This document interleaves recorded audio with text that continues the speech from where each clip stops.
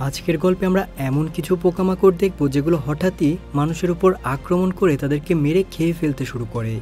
আর অল্প কয়েকজন মানুষ কোনো মতে সেই পোকাগুলোর হাত থেকে বাঁচার জন্য আপ্রাণ চেষ্টা করে। কিন্তু এমন ভয়ঙ্কর পরিস্থিতিতে শেষমেশ তাদের সাথে ঠিক কি হয়, সেটাই দেখব আজকের পুরো গল্প জুড়ে। কথা বলতে বলতে যে লোকটা হেঁটে যাচ্ছে তার নাম কুপার। প্রতিদিনই অফিসে লেট করে যাওয়ার কারণে তাকে বসে ঝাড়ি শুনতে হয়।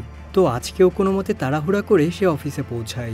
সে আসলে একটা ক্লিনিকের কল সেন্টারে কাজ করে। তো কাজ শুরু করার আগে ম্যানেজার তাকে বলে, বস তোমাকে ডেকে পাঠিয়েছে। আসলে গ্রাহকদের সাথে কয়েকদিন ধরেই কুপার বেশ বাজে ব্যবহার করছে। আর এর জন্যই আজকে বস তাকে চাকরি থেকে বের করে দেবে। কিন্তু যখনই তার বস তার সাথে কথা বলতে শুরু করে, তখনই হঠাৎ একটা অদ্ভুত আওয়াজ শুরু হয়।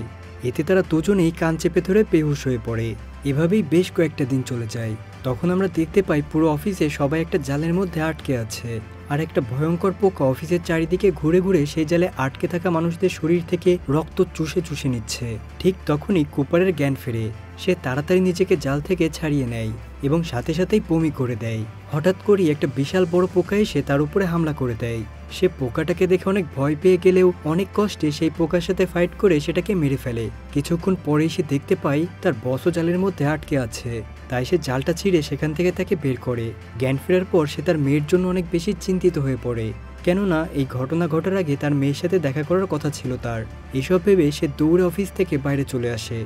কিন্তু বাইরে এসে দেখতে পায়, ওখানে থাকা সব লোক জালের মধ্যে আটকে আছে। কুপার, তার বসের মেয়ে সারাকে গাড়ির মধ্যে দেখতে পেয়ে তাকে বাঁচানোর জন্য সেখানে যায়। কিন্তু জ্ঞান ফিরেই কুপারকে দেখে সে ভয় পেয়ে কুপারের চোখে পেপার স্প্রে মেটে দেয়।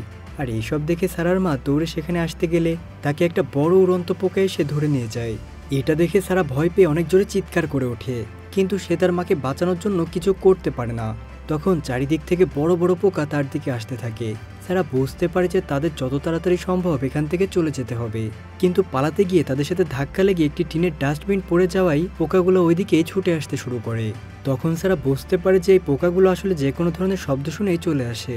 তাই সে তার গাড়ির অ্যালার্ম বাজিয়ে দেয়। আর কোনো মতে নিজেদেরকে বাঁচিয়ে একটা ক্যাফেতে যায়। ওখানে গিয়ে তারা দেখতে পায় অনেক মানুষ পোকাদের জালে আটকে আছে। তখন সে তাদেরকে বাঁচানোর জন্য এগিয়ে যায় আর জাল ছিঁড়ে তাদেরকে বের করে আনার চেষ্টা করে। হঠাৎ করেই সেখানে থাকা হুগো নামের একটা লোক সারার উপরে অ্যাটাক করে বসে। কুপার তাকে বাঁচাতে গেলে একটা ভয়ঙ্কর পোকা সেখানে চলে আসে। হুগো তখন বুঝতে পারে যে সারা আসলে তাকে বাঁচাতে এসেছে। তাই সে তাকে ছেড়ে দিয়ে ওই পোকাটাকে মেরে ফেলে। এরপর তার ওই ক্যাফেতে থাকা সিন্ডি, অ্যালবার্ট, লিচি, রোজার, ডিজে আর পুলিশ সহ সবাইকে ওই জাল থেকে মুক্ত করে।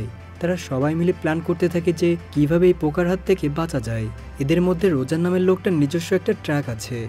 তাই সে সবাইকে ওই ট্র্যাকে করে যাওয়ার কথা বলে। কিন্তু সারা তাকে বলে, পোকাগুলো যে কোনো ধরনের শব্দ শুনেই চলে আসে। তাই ট্র্যাক নিয়ে ভুলেও বের হওয়া যাবে না। কিন্তু রোজার আর ডিজে তাদের কোনো কথা না শুনেই ট্র্যাক নিয়ে বেরিয়ে পড়ে। তখন ট্র্যাকের ইঞ্জিনের শব্দ শুনে বিশাল বিশাল পোকা সেখানে চলে আসে আর তাদের উপর অ্যাটাক করে। ডিজে পালানোর জন্য ট্র্যাক থেকে বের হয়, কিন্তু তার পা ভেঙে যায়, যার ফলে সে একটা ট্র্যাকের নিচে চাপা পড়ে। আর এদিকে রোজারকে একটা উড়ন্ত পোকা এসে ধরে নিয়ে যায়। এরপর ওই পোকাগুলা পুলিশ অফিসারকেও মেরে ফেলে, আর পেছন থেকে সে হুগোর বাবা আলবার্টকেও খুব বাজেভাবে কামড় দেয়। তখন তারা কোনো মতে সেখান থেকে পালিয়ে সেই ক্যাফেতে যায় এবং চারপাশটা ভালোভাবে দেখার জন্য ছাদে চলে যায়। সেখানে গিয়ে তারা একদিকে অদ্ভুত এক লাল ধোয়া দেখতে পায়, আর তার ঠিক বিপরীতে ওইসব পোকাদের দেখতে পায়। তারা নিজেদের মধ্যে আলোচনা করতে থাকে যে এখন তাদের কি করা উচিত, কিভাবেই বা এই পোকার হাত থেকে বাঁচা যায়। তখন কুপার তাদেরকে বলে, আমাদের এখন মিলিটারি ক্যাম্পে যাওয়া উচিত, যেখানে আমরা বাঁচার জন্য সব ধরনের অস্ত্র পাবো। আমার বাবা মিলিটারি ক্যাম্পের কাছেই থাকে, আমরা সেখানে যেতে পারি। কিন্তু কুপারের বাবার বাসা এখান থেকে বেশ খানিকটা দূরে, তাই তারা সবাই ভাবতে থাকে যে তারা সুরক্ষিতভাবে এত দূরে যেতে পারবে কিনা। তখনই সেখানে একদল পোকা উড়ে যেতে দেখা যায়। পোকাগুলোকে দেখে সবাই খুব ভয় পেয়ে চলে গেলেও লিচি সেখানে দাঁড়িয়ে পোকাদের দিকে হাত নাড়ে। কিন্তু পোকাগুলো কোনো কিছু নোটিস না করেই সেখান থেকে উড়ে যায়। তখন তারা বুঝতে পারে যে এই পোকাগুলো আসলে চোখেও দেখতে পায় না। তারা এই পোকা সম্পর্কে আরও কিছু জানার জন্য রেডিওর মাধ্যমে একটা পোকাকে ফুসলিয়ে একটা রুমের মধ্যে বন্দি করে ফেলে। আসলে লিচি চাইছিল যে এই পোকার বিষ নিয়ে পরীক্ষা করে দেখবে। তাই তারা পোকাটার সাথে আবারও লড়াই করে কোনো মতে বিষ নিয়ে নেয়। এরপর তারা সবাই এক জায়গায় বসে লিচির পরীক্ষার জন্য ওয়েট করতে থাকে আর পোকা নিয়ে আলোচনা করে। ওদের মধ্যে কারোরই এই পোকা সম্পর্কে খুব একটা জানা নেই, শুধুমাত্র একটা বিষয় ছাড়া, আর সেটা হচ্ছে ওই সাউন্ড, যেটার মাধ্যমে সবাই সেন্সলেস হয়ে গিয়েছিল। এরই মধ্যে লিচি সব টেস্ট করে তাদের কাছে এসে বলে যে, এই বিষের মধ্যে অনেক বেশি প্রোটিন আছে। এমনকি যে লাল ধোঁয়াটা আমরা দেখেছিলাম, ওই ধোঁয়া মূলত এই পোকারাই তৈরি করে। আপাতত এর বেশি কিছু আর জানা যায়নি। এরপর তারা সিদ্ধান্ত নেয় আজকের রাত্রে এখানেই কোনোভাবে কাটিয়ে দিবে তারা। আর সকাল হলেই কুপারের বাবার বাসার দিকে রওনা দিবে। তো সবাই ঘুমাতে চলে যায়। কিন্তু মধ্যরাতে হঠাৎ করে ওই পোকাটা অনেক জোরে জোরে চিৎকার করতে থাকে, যাতে অন্য পোকারা তাকে বাঁচানোর জন্য সেখানে চলে আসে। আলবার্ট অনেক কষ্টে পোকাটাকে সেখানেই মেরে ফেলে। তারা বুঝতে পারে যে তাদের এখানে আর এক মুহূর্তও থাকা যাবে না, কারণ সব পোকারা অলরেডি এই জায়গাটার কথা জেনে গেছে। সবাই ওখান থেকে চলে যাওয়ার সিদ্ধান্ত নিলেও লিচি ওখানেই থেকে যেতে চায়। সে বলে, আমি এখানে থেকে যত দ্রুত সম্ভব সব মানুষকে ওই পোকার জাল থেকে মুক্ত করতে চাই। তাহলেই পোকাদের সাথে সবাই মিলে ফাইট করতে সুবিধা হবে। কি আর করার? লিচিকে ওখানে রেখেই তারা সবাই বেরিয়ে পড়ে। আর প্রথমেই তারা অ্যালবার্টের বাড়িতে যায়। কিন্তু সেখানে গিয়ে তারা দেখে অ্যালবার্টের ওয়াইফ মারা গিয়েছে আর সে খুব কান্নাকাটি করছে। এটা দেখে তাদের খুব মন খারাপ হয়ে যায়। তারপর অ্যালবার্ট নিজেকে কন্ট্রোল করে একটা বন্দুক নিয়ে তাদের সাথে বেরিয়ে পড়ে। কিন্তু সারা বলে, তোমার এই বন্দুক নিয়ে আসা ঠিক হয়নি, কারণ নিঃশব্দে পোকারাও এখানে চলে আসতে পারে। তখন অ্যালবার্ট বলে, এটা তো আমি শুধুমাত্র ইমার্জেন্সি টাইমে কাজে লাগানোর জন্যই নিয়ে এসেছি। তারপর তারা সিন্ডির ভাইয়ের বাড়িতে যায়, যেখানে গিয়ে সে দেখতে পায়, পোকারা তার বোনকেও জাল দিয়ে আটকে ফেলেছে। সে যখনই তার বোনকে ছাড়ানোর জন্য যায়, ঠিক তখনই ঘর থেকে সিন্ডির ভাই আর একটা জালে জড়ানো মানুষকে নিয়ে বেরিয়ে আসে। কিন্তু তার ভাইও পুরোপুরি একটা পোকাতে চেঞ্জ হয়ে গিয়েছে। তাকে দেখতে খুবই ভয়ঙ্কর লাগছে। সে এখন অর্ধেক মানুষ আর অর্ধেক পোকা। বাইরে এসে সে তাদেরকে দেখে তাদের উপর হামলা করে। সিন্ডি তার ভাইয়ের সাথে কথা বলার চেষ্টা করে। কিন্তু তার ভাই তার উপরেই হামলা করে দেয়। এসব দেখে হুগো সিন্ডিকে বাঁচানোর জন্য এগিয়ে যায়। কিন্তু সে চিৎকার করে তার ভাইকে মারতে নিষেধ করে। বেচারে এটা বুঝতে পারে না যে সে এখন আর তার ভাই নেই, পুরোপুরি পোকাতে পরিণত হয়ে গিয়েছে। এক পর্যায়ে সিন্ডিকে প্রায় মেরেই ফেলছিল দেখে তাকে বাঁচাতে আলবার্ট আর হুগো দুজন মিলে সিন্ডির ভাইকে মেরে ফেলে। সেই রাতে তারা ওই বাড়িতেই থাকার সিদ্ধান্ত নেয়। কুপার সারাকে বলে, যদি আমি কখনো সিন্ডির ভাইয়ের মতো হয়ে যাই, তাহলে প্লিজ আমাকে মেরে ফেলো না। তারপর তারা নিজেদের মধ্যে কথা বলতে থাকে। আর এটা দেখে সিন্ডি রাগ করে সেখান থেকে উঠে চলে যায়।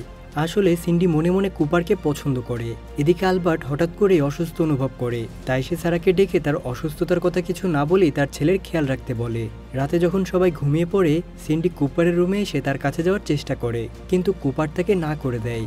এতে সিন্ডি অনেক কষ্ট পেয়ে ওই রুম থেকে চলে যায়। পরদিন সকালে তারা আবারও বেরিয়ে পড়ে, আর সেখানে সেই লাল ধোয়া দেখতে পায়। সারা তখন ভাবে, ওখানেই হয়তো সব পোকাদের আস্তানা, আর তার মাও হয়তো ওখানেই আছে। তাই সে ওইখানে যাওয়ার সিদ্ধান্ত নেয়। কিন্তু কুপার তাকে নিষেধ করে। সে বলে, ওখানে তোমার মা বেঁচে থাকার কোনো চান্সই নেই। আর যদি তুমি ওখানে যাও, তাহলে তুমি আর কখনোই ফিরে আসতে পারবে না।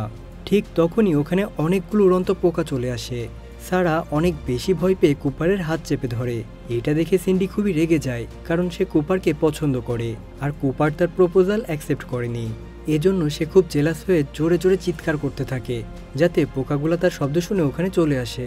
সবাই তাকে থামানোর জন্য অনেক চেষ্টা করে, কিন্তু সে কিছুতেই থামে না। কোনো উপায় না পেয়ে অ্যালবার্ট তাকে গুলি করে। তখন গুলি শব্দ শুনে একটা উড়ন্ত পোকা সেখানে চলে আসে আর কুপারের উপর আক্রমণ করে। কুপারকে বাঁচাতে সারা সেখানে গেলে ওই উড়ন্ত পোকাটা সারাকে ধরে নিয়ে যায়। কুপার সারাকে বাঁচানোর জন্য পাগল হয়ে যায়।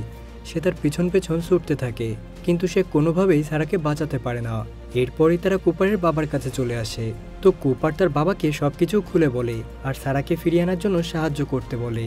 কিন্তু তার বাবা রাজি হয় না।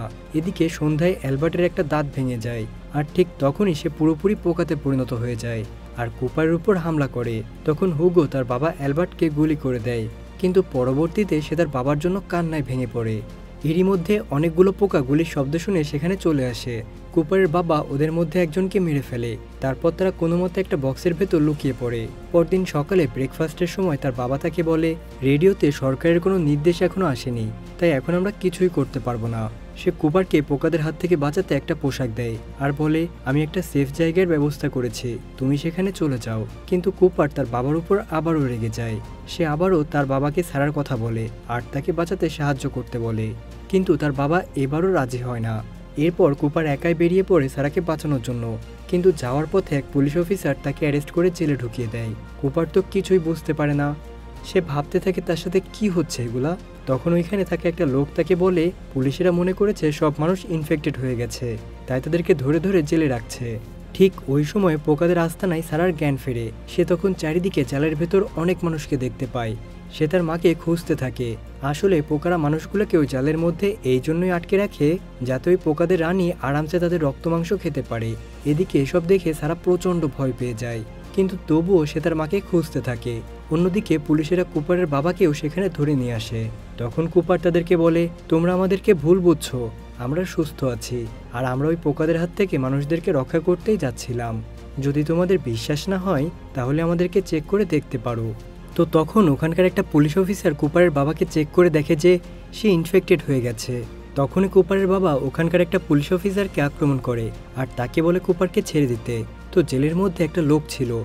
যে হঠাৎ করেই পোকা হয়ে ওখানকার একটা পুলিশকে মেরে ফেলে। সেই সুযোগে কুপারের বাবা ওখানকার পুলিশ অফিসারকে মেরে কুপারকে ওখান থেকে ছাড়িয়ে নিয়ে আসে। বাইরে এসেই তারা কিছু সাইকেল দেখতে পায়, আর তাতে করে তারা পোকাদের একটা বিশাল বাসার কাছে চলে আসে। এদিকে সারা ওই বাসার ভেতরে পোকাদের রানীকে দেখে অনেক বেশি ভয় পেয়ে যায়। এখান থেকে কীভাবে বাইরে বের হবে সে চিন্তা করতে থাকে। অন্যদিকে আমরা দেখতে পাই কুপারের বাবা অসুস্থতা নাটক করে কুপারকে একটা গাছের সাথে বেঁধে ফেলে, আর হুগোকে সেন্সলেস করে দেয়। কারণ সে চায় না তার ছেলে মানে কুপার ওইখানে যাক। যাই হোক, কুপারের বাবা ওই পোকাদের বাসার ভেতরে যেতে থাকে। কিন্তু যেই না সে ভেতরে যায়, ঠিক তখনই সারা তার উপরে আক্রমণ করে বসে। তখন সে তাকে বলে, আমি কুপারের বাবা, আমি তোমাকে বাঁচাতে এসেছি। এটা শুনে সারা অনেক বেশি খুশি হয়ে তাকে জড়িয়ে ধরে। এরপরেই তারা দুজন মিলে ওই পোকাদের রানীকে মারার জন্য ভেতরের দিকে যায়। কেননা কিছুক্ষণ আগেই ওই পোকাদের কুইনকে সারা সেখানে দেখেছে। কিন্তু যখন ওরা ওখানে যায়, দেখে যে ওখানে কেউই নেই। হঠাৎ করেই রানী তাদের সামনে চলে আসে আর এদিকে কুপার দেখে হুগোর জ্ঞান ফিরেছে। তাই সে তাকে ডেকে তার হাত খুলে দিতে বলে। আর তারপর দুজন মিলে ওই পোকাদের বাসার ভেতরে যায়। কিন্তু কুপার হুগোকে বেশি ভেতরে যেতে নিষেধ করে, কারণ সে কানে কম শুনে। তো যাই হোক, কুপার ভেতরের দিকে যায় আর হুগো পেছন পেছন আসে। কিন্তু তখনই ওরা দুইজন ওই পোকাদের ডিমের উপর পড়ে যায় আর ভেতর থেকে কুপারের বাবা চিৎকার শুনতে পায়। তখন সে বুঝতে পারে যে তার বাবা এখানেই আছে। তো সে তার বাবাকে খুঁজতে সামনে এগোতে থাকে। এদিকে ওই কুইন কুপারের বাবাকে আক্রমণ করতে যাবে। ঠিক এমন সময় পেছন থেকে কুপার এসে ওই কুইনকে গুলি করে দেয়। কিন্তু এত তাড়াতাড়ি কি আর সে মারা যায়? ওই গুলিতে তার কিছুই হয় না। আর ঠিক তখনই ওই কুইন অনেক জোরে শব্দ করতে থাকে। আর এটা সেই শব্দ যেটা মুভির প্রথমেই আমরা দেখেছি। তো যাই হোক, এই শব্দে সবাই নিজের কান বন্ধ করে চোখ বুঝে থাকে। কিন্তু এদিকে হুগো তো কানে শুনতেই পায় না। তাই তার কোনো সমস্যাই হচ্ছিল না। আর তাই সে তাড়াতাড়ি কুপারের বাবার কাছে যায়, কারণ কুপারের বাবার কাছে একটা বোমা ছিল। সে ওই বোমাটা ওই কুইনের মুখের ভেতর ছুঁড়ে মারে, যার কারণে ওই কুইনটা এক মুহূর্তের জন্য চুপ হয়ে যায়, আর এদিকে কুপারের বাবা অনেক বেশি আহত হয়ে যায়, যার কারণে সে উঠতেই পারছে না। সে কুপারকে একটা রিমোট দেয়, আর এই রিমোটটা হলো ওই কুইনের মুখের ভেতর থাকা বোমাটা ব্লাস্ট করানোর রিমোট। তারপর থেকে বাইরে গিয়ে বোমটা ব্লাস্ট করে দিতে বলে। কুপার কিছুতেই রাজি হয় না তার বাবাকে ছেড়ে যেতে, কিন্তু তার বাবাও হঠাৎ করে পোকায় চেঞ্জ হয়ে যেতে থাকে। তো আর কোনো উপায় না পেয়ে কুপার বাইরে চলে আসে আর ওই রিমোট চাপতে থাকে। কিন্তু কোনো কাজ হয় না। তখন সে খেয়াল করে যে রিমোটের পেছনে কোনো ব্যাটারি নেই। তাই সে তাড়াতাড়ি ওইখানে ব্যাটারি খুঁজতে যায়। কিন্তু তখনই সেখানে ওই কুইন পোকাটা চলে আসে। আর সে কি করবে ভেবে পায় না। হঠাৎই তার মনে পড়ে, তার কাছে একটা টর্চ লাইট আছে। আর এর ভিতরেই তো ব্যাটারি আছে। তাই সে তাড়াতাড়ি সেই টর্চ লাইটটা খুলে সেখান থেকে ব্যাটারি বের করে রিমোটটাতে লাগিয়ে নেয়। আর তাড়াতাড়ি করে রিমোটটাতে চাপ দেয়। আর ঠিক তখনই ওইখানে বোম ব্লাস্ট হয়ে যায়। তখন ওই রানী পোকাটা তো মারাই যায়, সেই সাথে ওখানে থাকা সমস্ত পোকাদের ডিম নষ্ট হয়ে যায় এবং পোকাগুলোও মারা যায়। আর ওই ব্লাস্টের কারণে কুপারও সেন্সলেস হয়ে যায়। এরপর হাসপাতালে কুপারের জ্ঞান ফেরে আর চোখ খুললে সে তার পাশে সারাকে দেখতে পায়। কুপারের এমন সাহসিকতায় তারা অনেক বেশি খুশি হয়। এরপর কুপার সারাকে প্রপোজ করে। আর সারাও রাজি হয়ে যায় তো পরবর্তীতে দেখা যায় কুপার, সারা আর হুগো তিনজন মিলে শহরের সব মানুষদের জাল থেকে মুক্ত করে। কিন্তু হঠাৎ করে তারা অনেক দূর থেকে কিছু একটা আসতে দেখে, আর সেটা দেখে তারা সবাই অনেক বেশি ভয় পেয়ে যায়। আর ঠিক এমন একটা দৃশ্যের মাধ্যমে মুভিটা এখানেই শেষ হয়ে যায়। আসলে ওটা কি ছিল? আবারও কি ওই পোকাগুলো ফিরে এসেছিল? নাকি ওই পোকাতে ইনফেক্টেড হওয়া মানুষগুলো আক্রমণ করতে এসেছিল? আপনাদের কি মনে হয় গাইস কমেন্ট করে জানাবেন কিন্তু। আল্লাহ হাফেজ।